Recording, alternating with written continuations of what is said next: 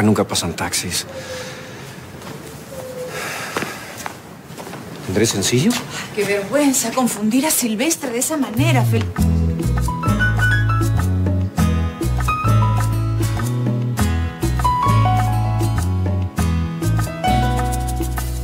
Eres la mujer más linda del mundo. Tienes la sonrisa. Charo, yo... Sí, ya sé, Raúl. Te sientes mal por lo que pasó anoche y quieres pedirme disculpas. ¿Cómo lo sabes? Porque te conozco perfectamente. Y para que veas que no soy rencorosa, está bien. Disculpas aceptadas. Ahora, si me permites, tengo cosas que hacer. Me parece que estás aceptando mis disculpas de la boca para afuera. Lo que en realidad en el fondo de tu corazón me odias. Y te doy la razón. Tú eres una mujer comprometida yo me comporté como un patán, canalla, un ridículo enamorado que piensa que una canción puede cambiar nuestros destinos.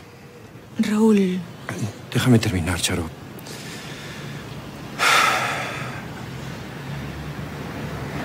Te deseo lo mejor del mundo.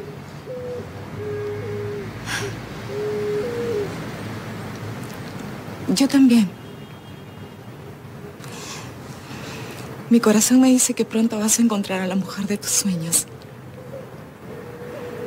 La mujer de mis sueños se va con otro. Pero eso no importa. Hay muchas mujeres en el mundo y como tú dices, alguna podrá conquistar mi corazón. Bueno, si eso es todo lo que tenías que decir. Si quieres y prefieres, esta es la última vez que hablamos. Te prometo que no te voy a volver a molestar. Eso me va a doler. Pero por tu felicidad soy capaz de cualquier cosa. Las cosas tampoco tienen que ser así, Raúl. Somos personas adultas y...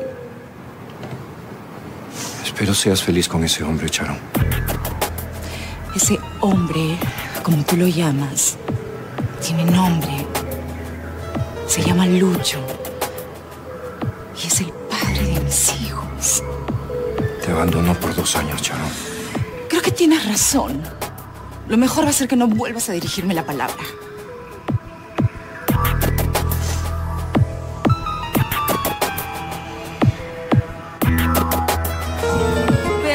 Bueno, si eso es lo que quieres, así será. De ahora en adelante actuaré como si no existieras. Y si en algún momento decides cambiar tu forma de pensar y quieres saludarme o buscas mi mirada, piña. Porque yo sí cumplo lo que prometo. ¿Y yo no? Si yo me detuve a conversar contigo fue por... por pena. Pena. Sí, claro. El señor se emborracha y viene a hacer el ridículo acá diciendo tontería y media. Ay, Raúl, ya estás grandecito para hacer el ridículo. ¿Qué ridículo? Digo, se te ve patético. Reconoce que se te puso la piel de gallina cuando escuchaste mi voz. ¿Quién diablos te crees que eres? ¿Se te puso la piel de gallina o no? No, no, yo, yo ya no tengo nada que ver contigo, Raúl. Por favor, entiéndelo de una vez. ¿En qué idioma te lo tengo que decir? Pero claro, al irresistible, al inconquistable Raúl del Prado le cuesta aceptar que una mujer lo ha olvidado. Yo estoy enamorada de otro hombre. ¿Enamorada? ¿De ese farsante? No me hagas reír, Charo, ¿quieres? Ríete todo lo que quieras, Raúl. Pero te guste o no, me voy a casar con... con el único hombre de mi vida. Solo camina. Solo trato de Tengo que sacarla de mi corazón.